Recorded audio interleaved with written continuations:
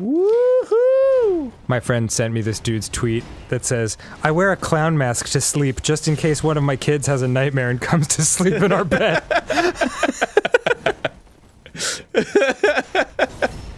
Ooh, that's cruel. I've told you that, like, that super dark sexual fantasy I had, right? What? I. Jeez. Maybe I shouldn't say this out loud.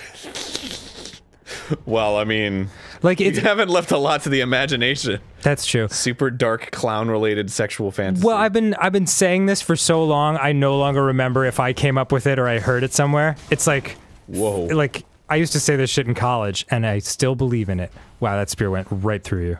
Yep. That that pierced the armor. Coming out of me. Um, Yeah, the idea is that like you're having sex with a girl doggy style, um, and then while she's getting into it and not paying attention, you slip on a clown mask, and then when she turns around, you're like,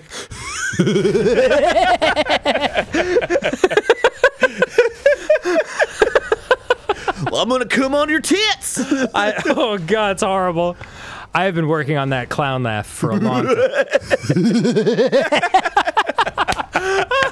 That's good. That's a good one. Thanks, man. it took a long time. Wow, dude. It's the worst. That's commitment. it is not. oh shit! Yo! Whoa. Oh, fuck! You dude. almost fell.